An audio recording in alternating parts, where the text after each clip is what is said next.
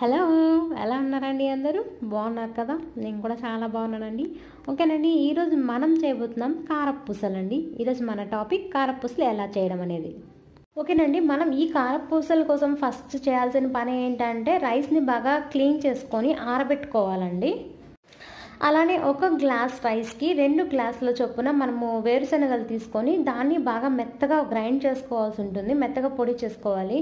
ఈ పొడి అనేది మనకి బయట మిషన్లలో వేయరండి. సో మనం ఇంట్లోనే చేసుకోవాల్సి ఉంటుంది. మిక్సర్ జార్లోనే మనం చేసుకోవాలి. చాలా మెత్తగా చేసుకోవాలి. ఈ వేరుశనగలతో చేసిన ఈ కారపూసలు చాలా బాగుంటాయండి. ఒకసారి ట్రై చేసి చూసారంటే మళ్ళీ మళ్ళీ రెగ్యులర్గా ఇవే చేసుకుంటారు మీరు. దీంతో పాటు మనం కొద్దిగా వామ్ కూడా మిక్స్ చేసుకోవాలండి ఇందులో. కొద్దిగా వామ్ వేసుకొని మనం పౌడర్ చేసుకోవాలి. చాలా బాగుంటుంది ఆ ఫ్లేవర్. నెక్స్ట్ మనం చూసినట్లయితే ఈ వేరుశనగలు పౌడర్ చేసిన తర్వాత ఈ విధంగా వస్తుంది. ఎక్కడ మనకి వేరుశనగలు అక్కడక్కడ మిగిలిపోకూడదండి. చాలా మెత్తగా ఉండాలి. నెక్స్ట్ ఇది వచ్చేసి రైస్ పౌడర్ అనమాట ఈ రైస్ పౌడర్లో మనం ఆ వేరుశనగల పౌడర్ కొద్ది కొద్దిగా తీసుకొని బాగా మిక్స్ చేసుకోవాలి. బాగా మిక్స్ చేసుకోవాలండి ఈ విధంగా. అది కొంచెం బాగా ఆయిల్ ఆయిల్గా ఉన్నట్లు అనిపిస్తుంది వేరుశనగలు వేసుకున్న తర్వాత. మనం బాగా పొడి చేసుకోవాలన్నమాట చేత్తోనే. పొడి చేసుకొని రెండింటిని మిక్స్ చేసుకోవాలి. కానీ తమిళనాడు సైడ్ అయితే ఎక్కువ ఇవే చేసుకుంటారండి ఏ ఫెస్టివల్ కన్నా. మా అత్త వాళ్ళు కూడా రెగ్యులర్గా చేస్తారనమాట ఇవి. చాలా బాగుంటాయి. నేను అక్కడి నుంచే నేర్చుకున్నాను ఇది.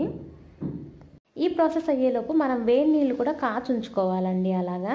వేడి నీళ్ళు కాచి ఉంచుకున్న తర్వాత అవి చల్లబడుతూ ఉంటాయి. ఈలోపు మనం కొద్దిగా కారపొడి నెక్స్ట్ టేస్ట్కి సరిపడినంత సాల్ట్ మనం ఇందులోనే కలుపుకొని వేడి నీళ్ళు కొద్ది కొద్దిగా వేస్తూ మనం మిక్స్ చేసుకోవాలండి. మనం సాల్ట్ ఎంత కావాలనిపిస్తే అంత వేసుకోవాలి. నెక్స్ట్ చిల్లీ పౌడర్ ఎంత తినేవాళ్ళైతే అంత వేసుకోవాలి ఇందులో. మీరు చూసినట్లయితే పొడి మొత్తం కలిపేసుకున్నామండి మనం. సాల్ట్ చిల్లీ పౌడర్ వేసుకొని తర్వాత మనం వేడి నీళ్ళు కొద్ది కొద్దిగా వేసుకుంటూ మనం ముద్ద కలుపుకోవాల్సి ఉంటుంది. అలా కలిపేటప్పుడు మనకు కొంచెం చిరాగ్గా అనిపించవచ్చు వేరుశనగల పిండి అంతా చేతికి అంటు వేరుశనగలు వేసాం కాబట్టి పిండి అంతా చేతికి అంటుకుంటూ ఉంటుంది. మొత్తం మనకి డఫ్ కంప్లీట్ అయ్యేలోపు మనం వాటర్ కొద్ది కొద్దిగా వేస్తున్నట్లయితే మన చేతికి లాస్ట్లో పిండి అంటుకోదండి. మన చేతికి పిండి అంటుకోకుండా ఉండేంత వరకు మనం దాన్ని వాటర్ యాడ్ చేసుకుంటూ మనం కలుపుకోవాల్సి ఉంటుంది. చూసారా? ఇప్పుడు పిండి అయితే రెడీ అయిపోయింది. కలిపేసుకున్నాం మనం. కారపూసలకి మనకి రెడీగా ఉంది వేసుకోవడానికి. ఇప్పుడు చూసినట్లయితే నా చేతికి కూడా అంటుకోవటం లేదండి. చేతికి ఉంట బాగా వస్తూ ఉంది. చూసినారు కదండి? చేతికి ఉంట బాగా వస్తుంది నా చేతికి అయితే ఏం అంటుకోలేదు అది ఇప్పుడు. సో ఈ విధంగా కలుపుకోవాలి.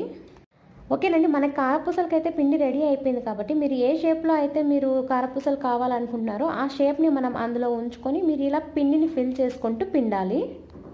ఓకే చూసారు కదండి? ఒక్కొక్కటి అలా మనం ఒత్తుకున్న తర్వాత కారపూసలు మనం నూనెలో వేసుకోవాలన్నమాట. నూనె బాగా కాలిన తర్వాత. ఓకే ఒక కలర్ వచ్చిన తర్వాత మనం తీసేసుకోవాలి. చాలా టేస్టీగా ఉంటాయండి ఇలా చేసిన కారపూసలు. ఓకే మీరు కూడా ఇంట్లో ఒకసారి ట్రై చేసుకొని నాతో షేర్ చేసుకోండి. మీకు ఎలా వచ్చాయి ఇవి అన్నది. ఓకేనండి మీకు కానీ ఈ వీడియో నచ్చినట్లయితే సబ్స్క్రైబ్ చేసుకొని పక్కనే ఉన్న బెల్ ఐకాన్ ప్రెస్ చేయండి. అలా చేయడం వల్ల నేను చేసే ఇలాంటి వీడియోస్ మీ మొబైల్ ఫోన్కి నోటిఫికేషన్ వస్తే అప్పుడు మీరు నా వీడియోస్ అన్ని మిస్ కాకుండా చూడొచ్చండి. ఓకేనా అండి? బాయ్.